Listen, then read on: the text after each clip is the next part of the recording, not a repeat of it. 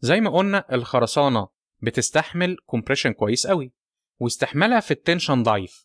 ساعات بنحتاج الخرسانة في مناطق عليها tension لكن مش كتير. مقاومة الخرسانة لل tension بنسميها إيه عندنا؟ FCTR زي ما قلنا ال F مقصود بيه stress و CTR هنا اختصار لإيه؟ Concrete Tension Rupture. Rupture يعني انهيار. يعني بمعنى أصح انهيار الخرسانة في ال tension.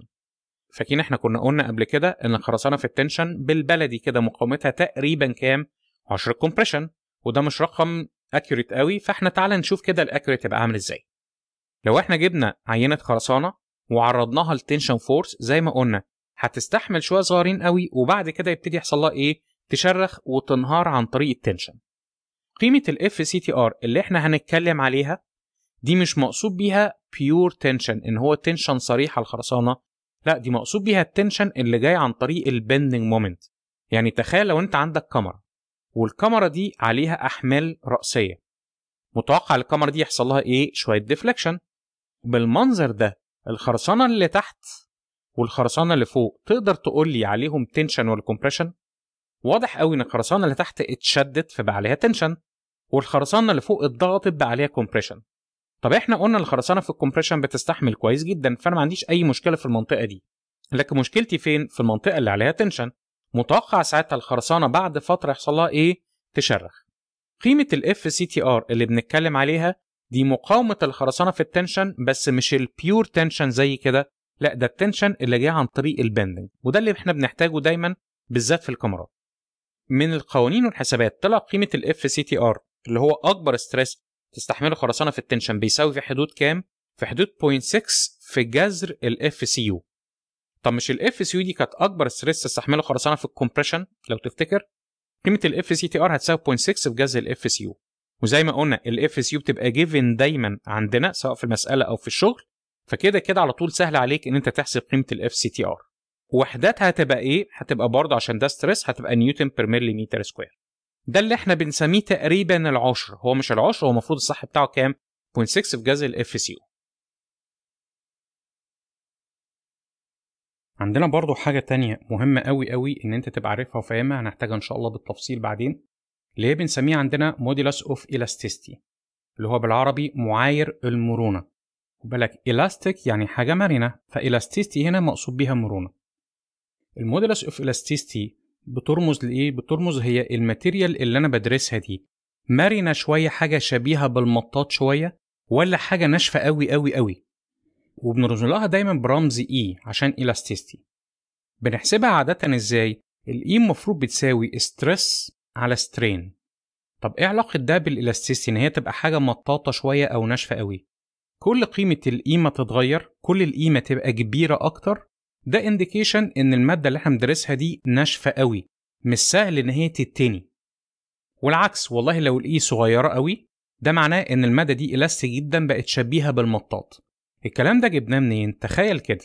لو أنت عندك مادة بتحسب دلوقتي ال E بتاعتها زي ما قلنا هنحسب stress على strain يعني المادة دي أنا عرضتها ل stress معين وشفت ساعتها عليها strain قد إيه. طب تخيل لو ال strain اللي عليها دوت قيمته صغيرة قوي. مش ده كده معناه إن المادة دي ناشفة قوي؟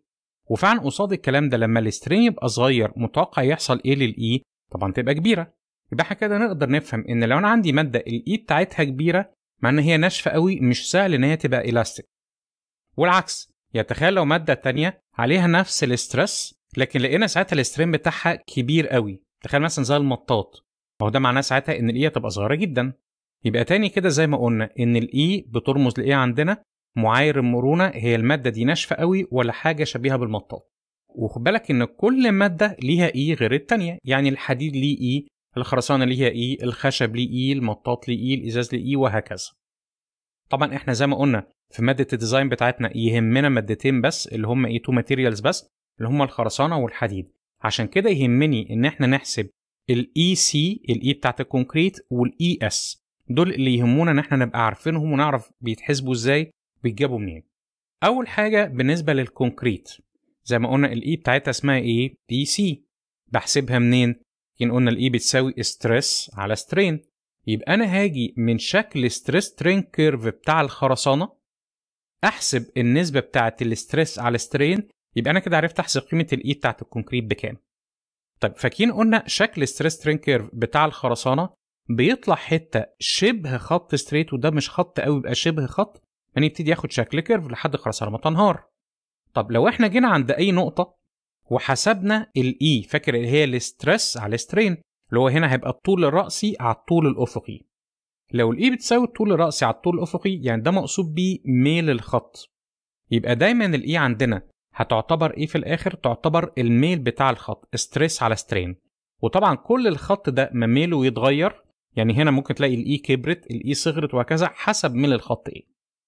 طب إحنا بس المشكلة لو تفتكر إن في شكل stress strain curve بتاع الخرسانة الحتة دي مش straight بالظبط دي واخدة شكل curve ده معناه كده إن أنا مش هقدر أحسب بالظبط الميل لأن ده curve مش خط. فعادة في الكود المصري وفي الأكواد الأخرى لما يحبوا يحسبوا ال E بيعملوا إيه؟ بيجوا بعد ما يحسبوا قيمة ال FCU يحددوا قيمة 0.4 ال FCU يعني بمعنى أصح يبقى الطول ده تقريبا 4 من 10 من الطول كله. ونعمل خط لحد ما نقطع ال stress strain curve بتاع الخرسانة.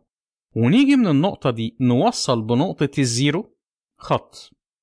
الخط ده خد بالك كده ده الخط اللي بيقطع curve وبالمناسبة يعني لو انت عارف أي curve لو انت عملت خط قاطع ليه الخط القاطع ده بنسميه عندنا secant line فال secant line ده بيوصل منين لفين؟ من نقطة الزيرو لحد النقطة اللي ال stress عندها بكام؟ 0.4 ال Fcu ويبتدوا يحسبوا ميل الخط ده ده اللي بيعبر عن ال E بتاعة الخرسانة. يعني ميل الخط ال secant line اللي هو هيبقى الطول الرأسي على الطول الأفقي ال stress على ال strain ده يعتبر إيه في الآخر؟ ده يعتبر كده ال E بتاعت الخرسانة. بس ده في المنطقة اللي ال stress فيها بكام؟ أصغر من 0.4 ال Fc ساعتها بنسميه عندنا اي سي 1 يبقى الاي سي 1 اللي هي تعتبر ال E بتاعت ال concrete بس لما ال stress كان قليل كان أصغر من 0.4 ال Fcu طلعت في حدود كام لما جينا حسبنا الميل ده؟ طلعت في حدود 4400 في جذر ال Fcu ده قانون هنبقى نحفظه بعدين إن شاء الله عشان هنحتاجه كتير في التصميم. يبقى ال E بتاعت الخرسانة في المنطقة اللي في الأول لما ال stress كان قليل طلعت في حدود كام؟ 4400 في جذر ال Fcu ووحداتها زي ال Fcu نيوتن per ملي متر square. ليه خد بالك؟ لأن هو stress على strain. طب ما ال stress وحداته نيوتن per ملي متر square. وال strain ملوش وحدات عشان كده بتطلع هي نفس وحدات ال stress يبقى الاي سي عندنا بكام؟ 4400 جذر ال Fcu وفاكرين قلنا ال Fcu بتبقى given عادة فأنت تقدر على طول تحسب قيمة ال E بتاعتنا بكام. طب لكن لما ال stress يزيد في المنطقة دي ده واخد شكل curve فللأسف ما عندناش معادلة تقدر تحسبه بالظبط.